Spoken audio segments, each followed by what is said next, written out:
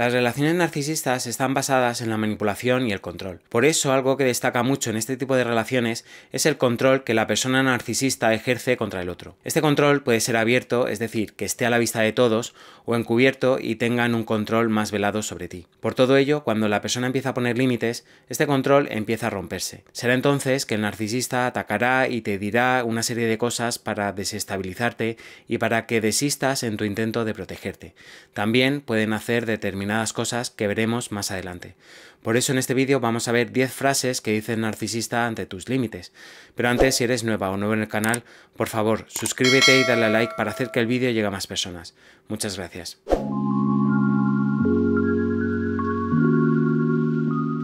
Primer lugar, pueden decirte, no entiendo por qué eres tan sensible, deberías aprender a no tomar las cosas tan personalmente. Y seguro que después rematan con, vamos, es un consejo, con esa condescendencia y chulería que les caracteriza. Con esta frase intentan minimizar tus sentimientos y hacer que te sientas culpable por establecer límites. Y es que cuando te dicen que eres muy sensible, lo que en realidad están diciendo es, no me valen tus sentimientos o opiniones sobre este tema y deberías hacer las cosas a mi manera o como yo te mando. La frase eres muy sensible es la frase estrella de manipuladores y gente que invalida a los demás emocionalmente. Seguramente nosotros mismos también hayamos dicho esto en alguna ocasión. Aquí nadie está libre de decir esto.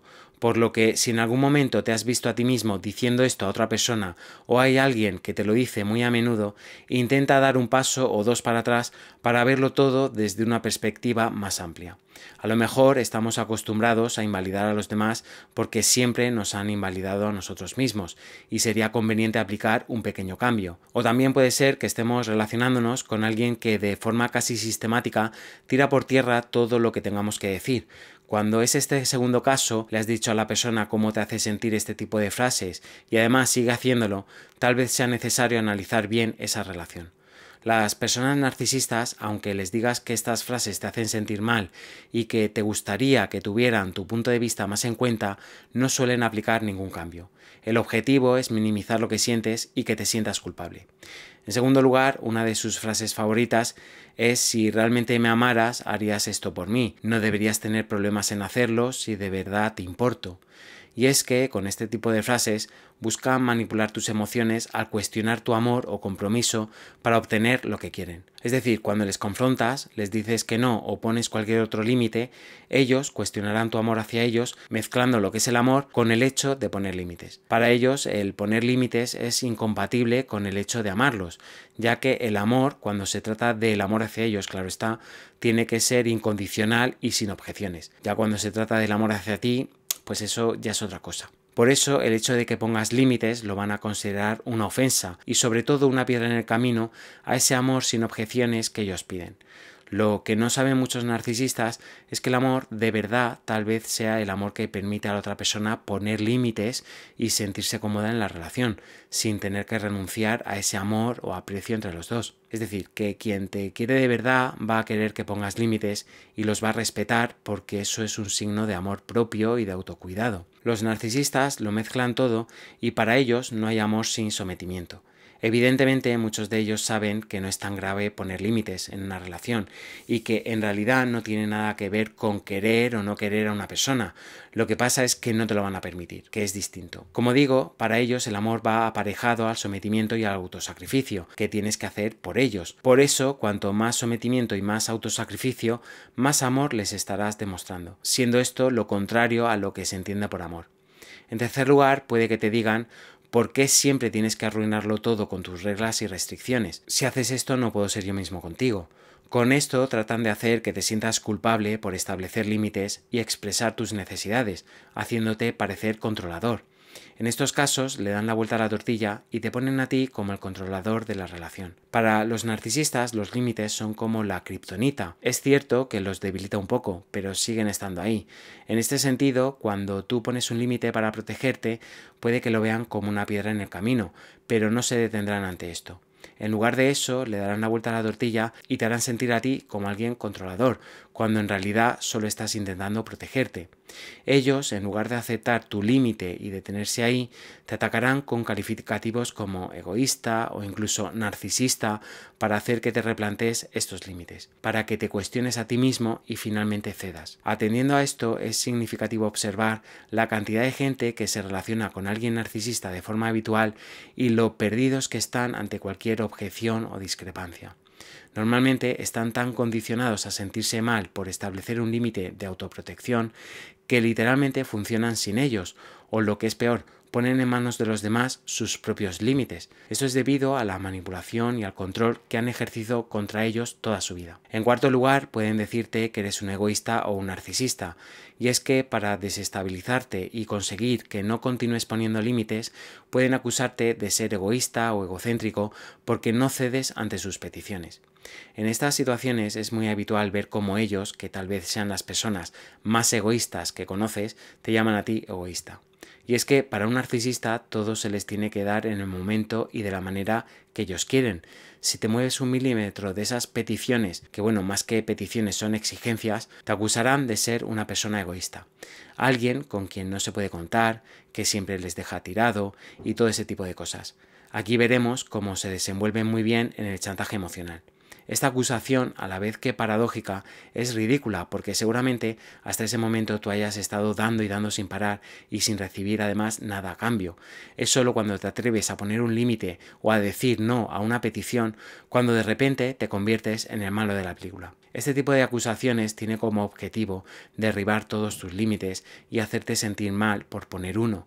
Quieren culpabilizarte por el incumplimiento de las cosas que quieren endosarte, sin tener en cuenta ni tus sentimientos ni tus necesidades. En sexto lugar, pueden decirte que no sabes lo que quieres, esta frase es una afirmación que intenta que te plantees y te replantees los límites que has establecido, y puede que tengan algo de verdad, en el sentido de que cada vez que has intentado poner un límite o decir hasta aquí, el narcisista te ha convencido para que bajes la guardia y para que siga todo igual.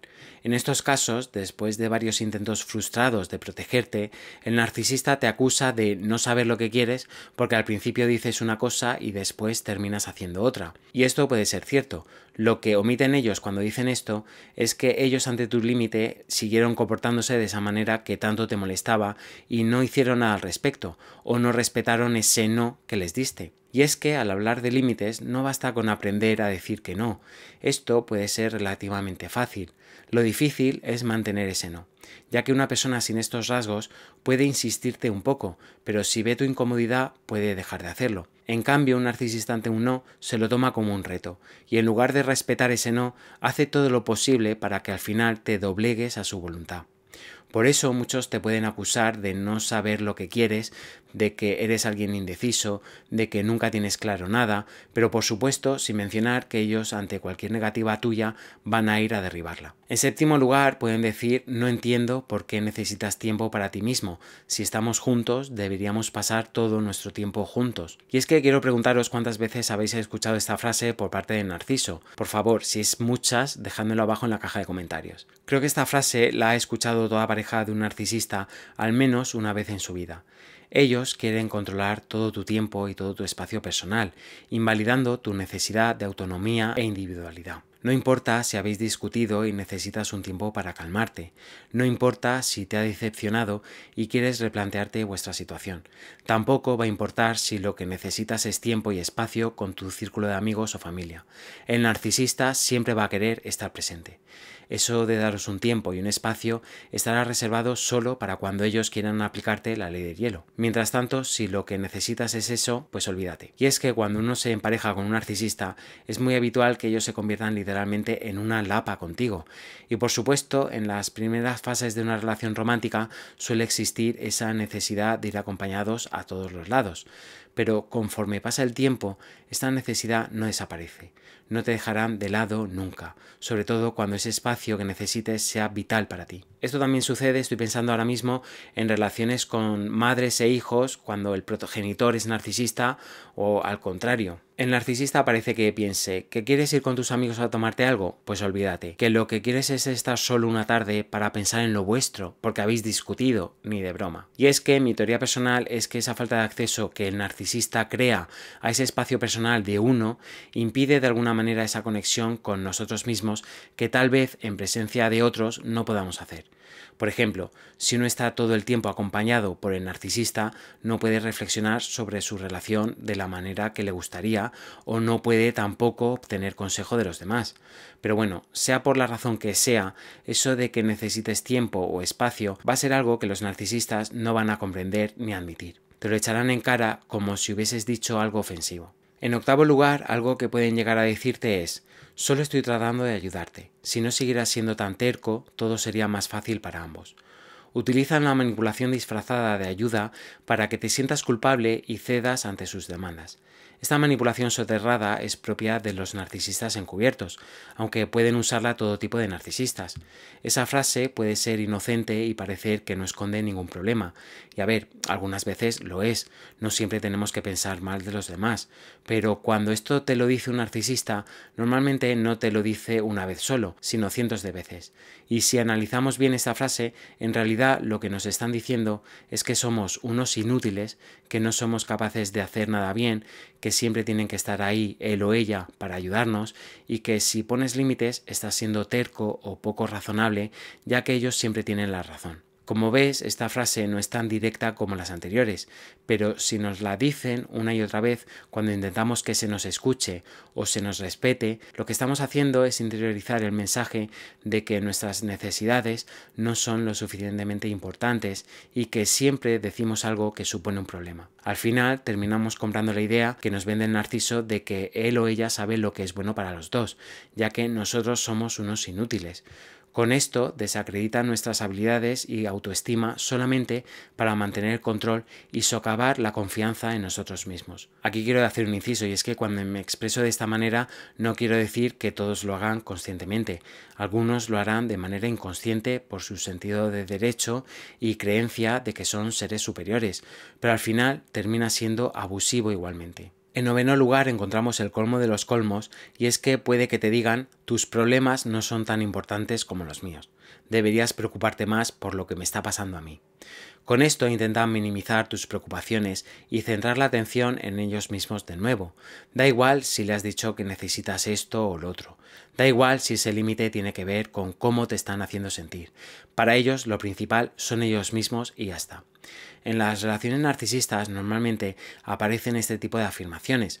Cuando te dicen esto, lo que están intentando es ir sembrando la idea de que no sois iguales y de que, de hecho, cualquier cosa que te pase siempre será menos importante de lo que les esté pasando a ellos. Esto crea una dinámica de desigualdad bastante evidente en la relación. La víctima puede ser consciente de esta desigualdad, pero no sabe cómo deshacerse de ella. Al final termina comprando esta idea y asumiendo que sus problemas y preocupaciones no son lo suficientemente importantes como para que tenga que poner límites. En décimo lugar, puede que te digan que estás exagerando. Esta frase es simple pero efectiva. Este estás exagerando repetido en el tiempo de forma sistemática ante tus límites te harán dudar de la validez de los sentimientos que te han llevado a poner estos. Puede que pienses, si estoy exagerando, será que estoy siendo demasiado duro con esta persona. Y si estoy siendo demasiado duro, posiblemente no tenga que poner este límite. O si estoy exagerando, probablemente estoy viendo cosas donde no las hay, por lo que no es necesario que me proteja de esta persona. Es más, lo que tengo que hacer es seguir revisándome y trabajando estas cosas. Este estás exagerando puede parecer inofensivo. Por supuesto, dicho esto de vez en cuando lo es, pero si aparece de forma sistemática, como si tus sentimientos no tuviesen que ser tomados en cuenta nunca, o como si verdaderamente tuvieras una deficiencia a la hora de ver la realidad tal cual es, puede ser un indicativo de que algo no va bien. Y a no ser que tengas esa dificultad por algún problema en concreto, puede que la persona que te esté diciendo esto continuamente esté haciendo luz de gas. Por supuesto, habría que hacer un análisis de cada caso en particular y no extraer conclusiones personales de algo que estoy diciendo de forma general. Pero bueno, con todo, lo que quiero decir con esto es que a veces los mensajes en apariencia más inofensivos dejan una huella permanente en la mente de las personas, sobre todo si aparecen de forma continuada. Recuerda que este tipo de invalidación emocional se da de forma progresiva y continua, y no por una vez que discutiste en un momento determinado, aunque también puede darse. Bueno, llegados hasta aquí, ¿qué opinas tú? ¿Te has sentido identificado con alguna frase expuesta en el vídeo? ¿Qué te decía el narcisista cuando ponías límites? ¿Te han dejado algún tipo de huella? Por favor escriba abajo en la caja de comentarios. Bueno, hasta aquí el vídeo de hoy. Dale like si te ha gustado y compártelo en tus redes sociales o con alguien que creas que lo pueda necesitar. Suscríbete si no lo has hecho todavía, dándole a la campanita para ver más vídeos así. Te mando un abrazo y mucho ánimo en tu camino a la recuperación.